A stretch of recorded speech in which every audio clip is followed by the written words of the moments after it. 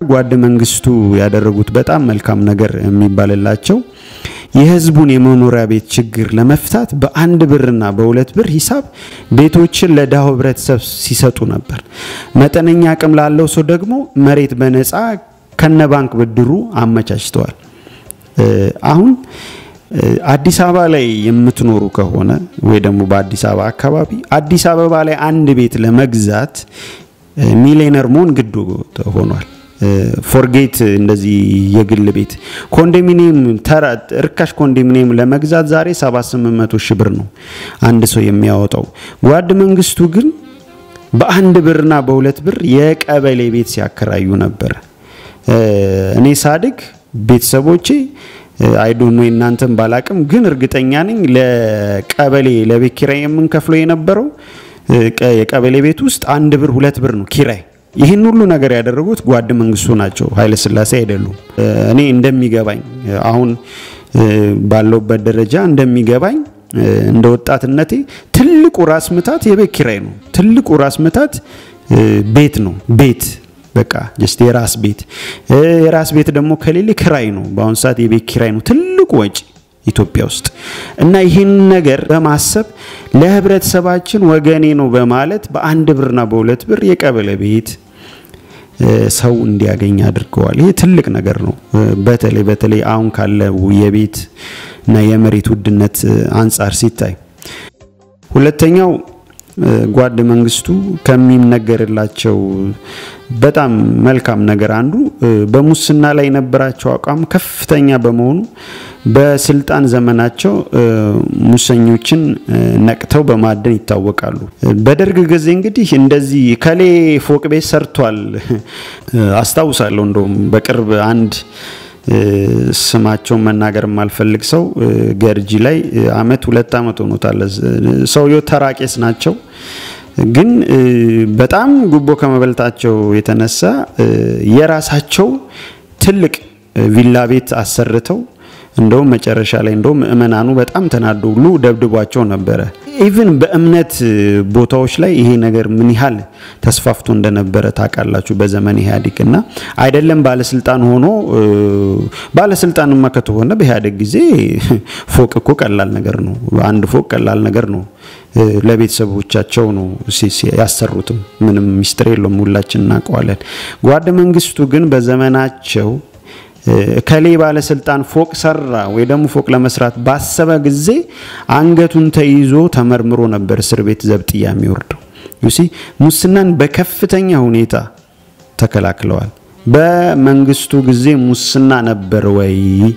ጓድ መንግስቱ ዘመን ሙስና የበላ ሰው አለ ቢባል እና ኢህአዴግ ዘመን ጊዜ ካሉት ባለስልጣናት ወይ ደግሞ ከነበረው ነገር ብናወዳደሩ ጭራሽ አይገናኝም። of course perfect አይደለም።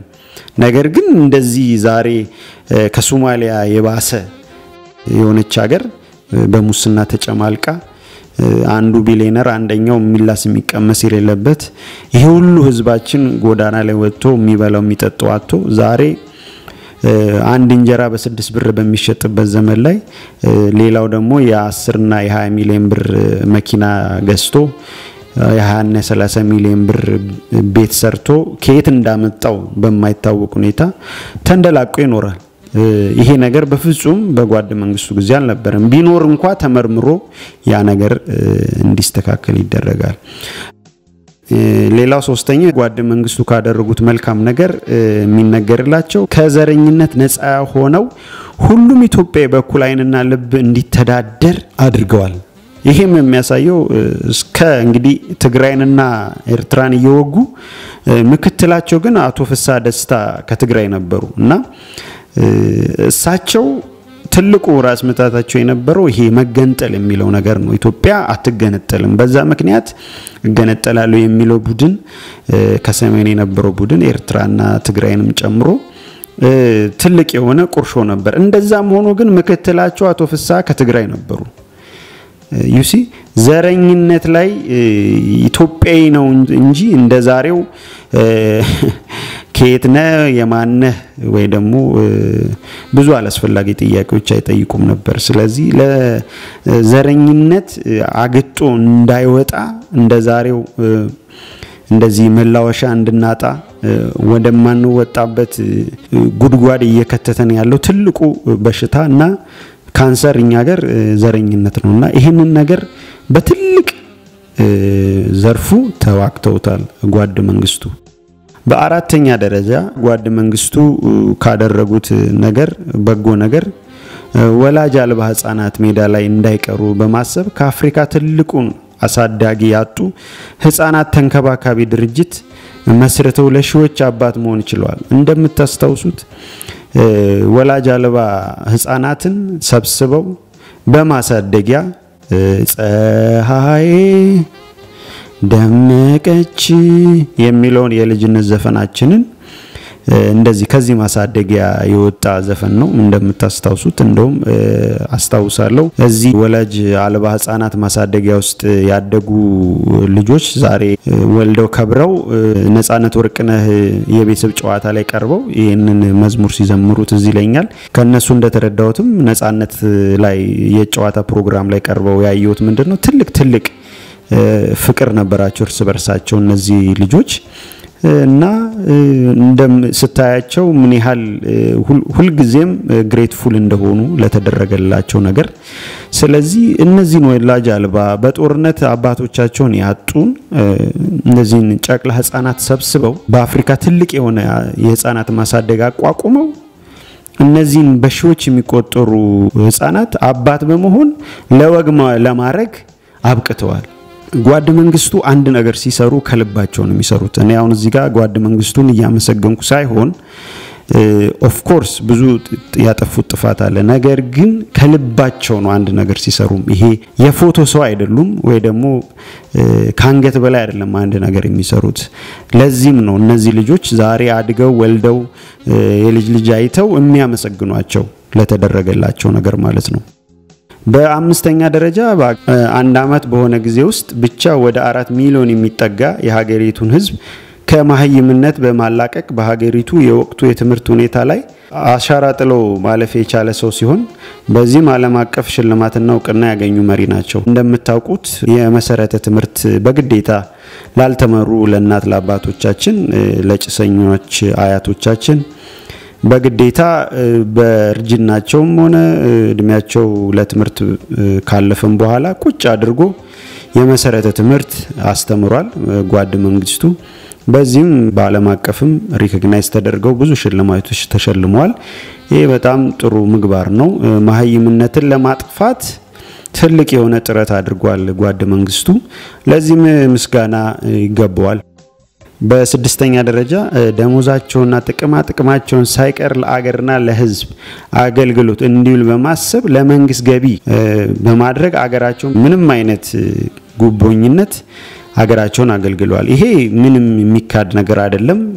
እንደው በይህን ነገር ማወቅ ከፈለጋችሁ የድሮ ጄኔራሎች፣ የድሮ ጓዶች፣ ትልልቅ ባለስልጣን የነበሩ ኮሎኔሎች የጓድ መንግስቱ አሁን ዛሬ ብትያቸው በጣም ከገፋ ያላቸው አንድ ቤት ነው ጡረታ ነው ያላቸው እንጂ እንደ በኢህአዴግ ዘመን እንደነበሩ ጄኔራሎች ባለፎቅ ቢሊዮነሮች፣ ሚሊዮነሮች የፈለጉትን የሚያደርጉ ፈላጭ ቆራጮች አልነበሩም። እና ይህን ሁሉ ነገር ያው የጓድ መንግስቱ መንግስት እውነትም አምባገነንም ቢሆን ግን ለሙስናና ለዚህ ፍትሐዊ ላልሆነ አሰራር በጣም አደገኛ እርምጃ ይወስድ የነበረ መንግስት ነው። ወታደሩም ሆነ ትልልቅ ባለስልጣኖቹ የነበሩት አሁን በምናየው አይነት ለምሳሌ ዛሬ አንድ ተራ የቀበሌ ሊቀመንበር የነበረ ወይ ደግሞ የሆነን አካባቢ ያስተዳድር የነበረ ተራ ባለስልጣን ምን እንዳለው እናውቃለን። እሱን ከጓድ መንግስቱ ዘመን ጋር ብናወዳድረው የትየለሌ ነው። ምንም የሚገናኝ ነገር አይደለም። ይሄኛውም ትልቅ ትልቅ ሚና ተጫውተዋል። ሙስናና በደል እንዳይስፋፋ ትልቅ ትልቅ ነገር አድርገዋል ጓድ መንግስቱ። በሰባተኛ ደረጃ በሀገራቸው አንድነት ላይ ለሰከንድ እንኳን የማያደራደሩ መሪ እንደሆኑ ይነገርላቸዋል። በ17 ዓመት የስልጣን ዘመናቸው በሀገሪቱ የተለያዩ አካባቢዎች ተነስተው ከነበሩ የተገንጣይ አስተሳሰብ አራማጆች ጋር በመፋለም አሳልፈዋል። እንደምታስታውሱት በጋምቤላ በኩል በነበረው ችግር፣ ከሱዳን ጋር በነበረው ችግር፣ በዚህ ደግሞ በሶማሊያ በኩል ያለውን ችግር ትልቅ ትልቅ ጦርነት ነበር ከሶማሌ ጋር የነበረን ለመገንጠል የሚፈልጉ አካላትን በዛ በኤርትራን በኩል of course unfortunately በመጨረሻ ኤርትራ ያው ተገንጥላ ወጣለች። ግን ትልቅ ጥረት አድርገዋል።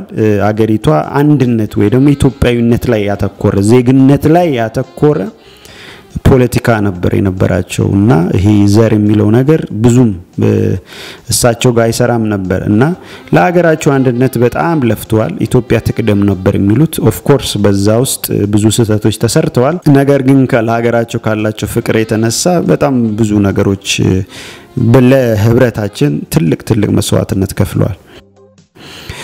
በስምንተኛ ደረጃ ጓድ መንግስቱ ከሰሩት የሚታወስላቸው ኢትዮጵያ ኢንዱስትሪያላዊት ሀገር ለማድረግ በርካታ ፋብሪካዎችን እንዲሁም ዛሬ ላይ ሜቴክ የሚባለውን የኢንዱስትሪ ማዕከል ማቋቋማቸው ይታወቃል። ምን ያህሎቻችሁ ናችሁ ሜቴክን ጓድ መንግስቱ እንዳቋቋመ የምናውቅ? እንግዲህ ያሳያችሁ በጣም ትልቅ ድርጅት ነው። እርግጥ ነው አሁን ወጥ የረገጡ ባለስልጣኖች መጥተው እንደዚህ የጉቦ ቋት አድርገውት ስሙ እንዲጠፋ ቢያደርጉትም ሜቴክ በጣም ጥሩ የሚባሉ ትልልቅ ነገሮች የሰራ ድርጅት ነው። እንደ አለመታደል ሆኖ ያው እኛ ሀገር ሌባ ነው የሚመሰገነው። ሌባ ገብቶበት በመጨረሻ ስሙ ሜቴክ ሲባል ጉቦና ሌብነት እንዲታወሰን እንዲሆን ተደርጓል። ነገር ግን ይህን ነገር ያቋቋሙት ጓድ መንግስቱ እንደሆኑ ይነገራል። በዘጠነኛ ደረጃ የእስልምና እምነትን መንግስታዊ እውቅና አሰጥተው አሁን በሀገሪቱ ላለው የእምነት እኩልነት በተለይም በሁለቱ በርካታ ተከታዮች ባላቸው የክርስትናና የእስልምና እምነቶች መካከል ላለው መከባበርና መቻቸል የማይናቅ ሚና ተጫውተዋል። እንደምታስታውሱት ከጓድ መንግስቱ በፊት የነበሩት ንጉሶች መሪዎቻችን በብዛት ያው እስልምናውንም ባይጎዱም ግን መንግስታቸው ብዙ ጊዜ ሪፕሬዘንት የሚደረገው በክርስትና ላይ ነው እና ሙሉ በሙሉ የእስልምና እምነትን እኩል ከክርስትና እምነት ጋር የሚያዩ አልነበረም። እርግጥ ነው አክብሮቱ ነበረ፣ የማይካድ ነው እሱ። ነገር ግን የእስልምና እና ክርስትናን እኩል አይን አያዩም ነበረ። ብዙዎቹ የ Solomonic ስርወ መንግስት ወይ ደግሞ የሰለሞን ዘር ነን ብለው ስለሚያስቡ ብዙ ጊዜ የክርስትና እምነትን ይከተሉ ስለነበረ የሙስሊም ማህበረሰቡ ላይ በዚህ ዙሪያ ላይ ትልቅ psychological መሆን ሌላ አይነት ተጽዕኖዎች ነበሩ ማለት ነው። ይሄ ነገር እንዲቀረፍ ትልቅ ትልቅ ሚና ተጫውተዋል ጓድ መንግስቱ እንግዲህ። ስለዚህ ለእስልምና እምነት ተከታዮች ለሙስሊሙ ማህበረሰብ ባለውለታ ናቸው ጓድ መንግስቱ።